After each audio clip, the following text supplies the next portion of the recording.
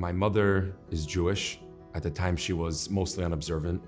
My father is a devout Roman Catholic, and he raised us in his religion. So on Sundays, I'd go to church and I would be an altar boy, I would sing in the choir, or I would, I would read from the podium.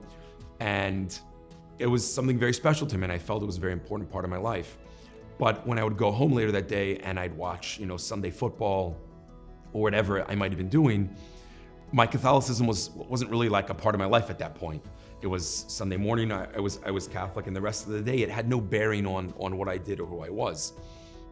My Judaism affects every moment of my life. So when I'm in a synagogue on on Shabbos for a few hours, when I leave and come home, whatever I'm doing, my Judaism has a bearing on that. As a Jew, it's not just a big slice of life. My Judaism is the entire the entire pie. It's my entire life.